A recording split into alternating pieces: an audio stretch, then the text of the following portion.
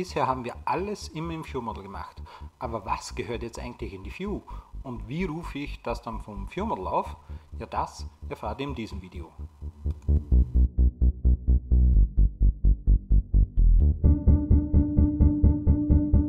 Im letzten Video haben wir diese kleine App gemacht, wo wir einfach Personen hinzufügen können in diese Liste. Und ich weiß, es gibt natürlich jetzt die Möglichkeit, wenn hier Vorname, Nachname etc. nichts ausgefüllt ist, dass wir hier das Add Person durch das Command Pattern entsprechend äh, deaktivieren. Aber ich möchte diesmal was anderes zeigen, nämlich es gibt Funktionalitäten, die gehören in die View. Bisher haben wir die gesamte Logik in das View Model programmiert und haben das Code Behind File haben wir einfach ignoriert.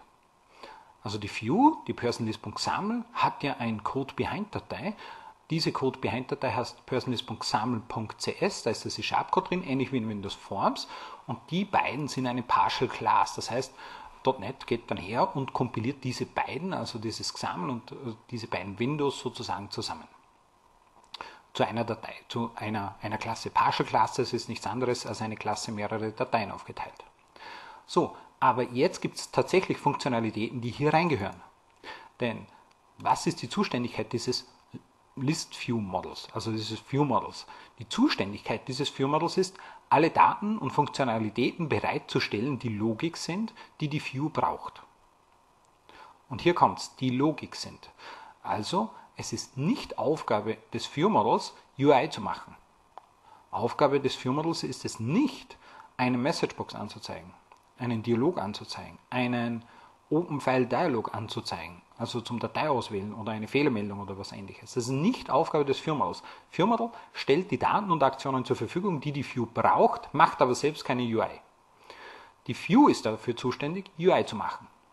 Und jetzt wollen wir eine Messagebox, eine Fehlermeldung anzeigen. Und zwar wollen wir die Fehlermeldung anzeigen, wenn wir auf diesen Button klicken, also in diesen Add Person Command, äh, wenn das ausgeführt wird, aber wir keinen First Name und Last Name haben. Dann wollen wir, dass eine Messagebox ausgegeben wird, eine Fehlermeldung. Und wie machen wir das jetzt? Nun ja, das eine ist, Messagebox anzeigen ist eine Sache, die der View gehört. Messagebox ist eine View. Man kann sich auch so vorstellen, eine Messagebox braucht eine User-Interaktion, nämlich das OK-Klicken. das blockiert die gesamte Applikation und lässt sich dadurch auch nicht Unit testen. Beim Unit-Testen, automatisierten Testen, gibt es keine ähm, Variante, die das äh, sinnvoll erlaubt. Aber trotzdem müssen wir es machen. Also geben wir diese Funktionalität, die Fehlermeldung anzuzeigen, Show Error nenne ich es mal, äh, in die View. Messagebox.show Please enter value at first name and last name. So, und diese Show Error Methode, die muss jetzt natürlich irgendwo ausgeführt werden oder aufgerufen werden. Und jetzt haben wir die, folgendes Problem, wer sich an das Schema erinnert, die View kennt zwar das View-Model, aber das View-Model kennt die View nicht. Die View kennt das View-Model, weil wir in der View hier als Window-Data-Kontext das View-Model instanziert haben. Das View-Model selbst weiß das aber nicht und kennt das nicht. Also, wie machen wir es? Bei der Oberflächenprogrammierung sich, bietet sich eines etwas an, äh, immer an und das sind Events. Events gibt schon andere Videos dazu, könnt ihr euch anschauen. Also machen wir kurz ein entsprechendes Event. Public äh, Event vom Typ Event Handler. Und dieser Event Handler heißt jetzt äh, Missing Data. Also wir machen ein Event Missing Data und dieses Event wollen wir jetzt feuern für den Fall, dass hier eben ähm, ja, Vorname, Nachname leer ist. Also hier ist das Command, das ausgeführt wird, ausgeführt wird und sagen if new person first name, also string is null or white space first name oder string is null or white space new person last name, dann freuen wir dieses Event. Messing Data, also natürlich nur, wenn sich jemand darauf registriert hat.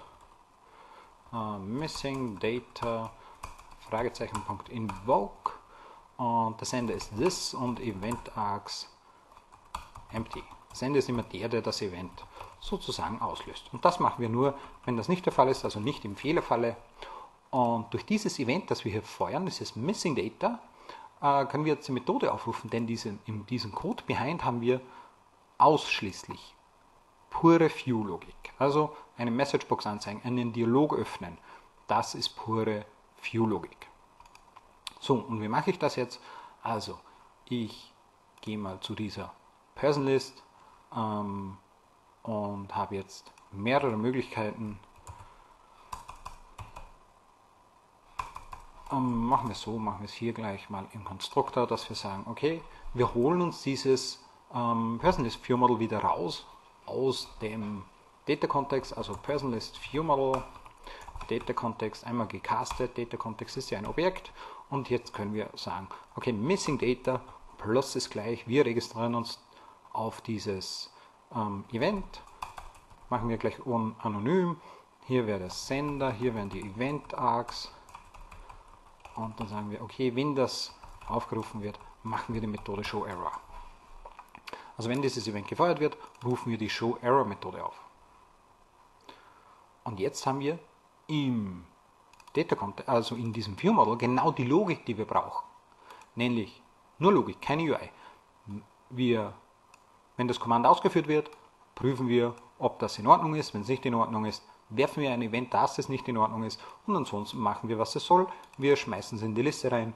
Und durch diesen ganzen Event-Stack sozusagen werden äh, die UIs aktualisiert. Und wenn die Fehlermeldung auftreten soll, dann wird hier die Messagebox aufgerufen. Also, wenn wir aus der View-Model die View aufrufen wollen oder etwas, was mit View zu tun hat, was das View-Model nicht kennen soll, dann brauchen wir ein Event, das wir feuern. Ja, und wenn wir wieder Infos zurückgeben wollten, sollten, dann brauchen wir im View-Model wieder entsprechende Eigenschaften. Kurz mal ausprobiert, ob das so auch wirklich funktioniert. Und dann sehen wir hoffentlich gleich eine Fehlermeldung. Please enter value at first name and last name. Genau. Und wenn ich hier was reingebe, Max Muster Sales Add Person, dann ist er da. Add Person, ich bekomme eine Fehlermeldung. Also so ruft man vom View Model die View auf. Viel Spaß beim Ausprobieren. Und wenn es euch gefallen hat, lasst ein Abo da.